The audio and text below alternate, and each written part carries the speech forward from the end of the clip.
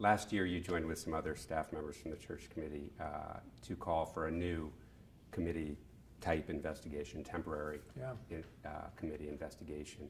Uh, what do you think that type of investigation should include? Well, it should go deep.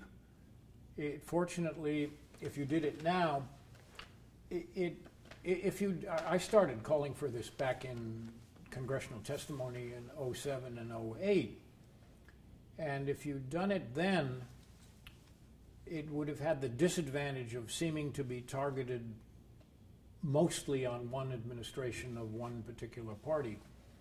If you did it now, you got a fuller record, and I think that makes the it more likely that you get a broad public support and bipartisan participation among the members of Congress.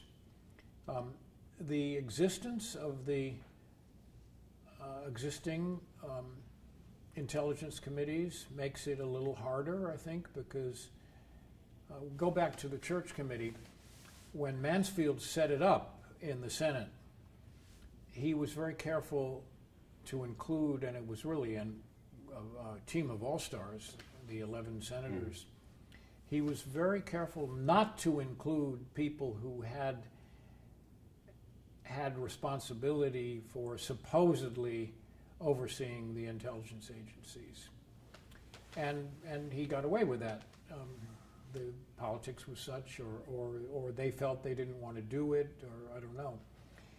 Um, today, I think having an investigation is made harder by the existence of the intelligence committees, and certainly I think it would be extraordinarily hard to do it without some participation Mhm. by those people.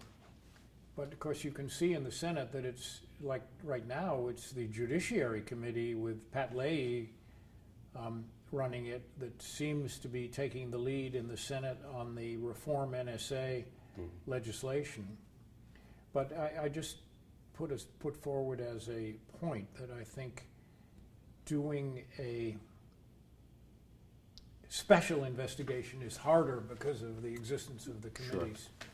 And, and what do you, I mean, just look broadly at all the agencies, or is there something specifically?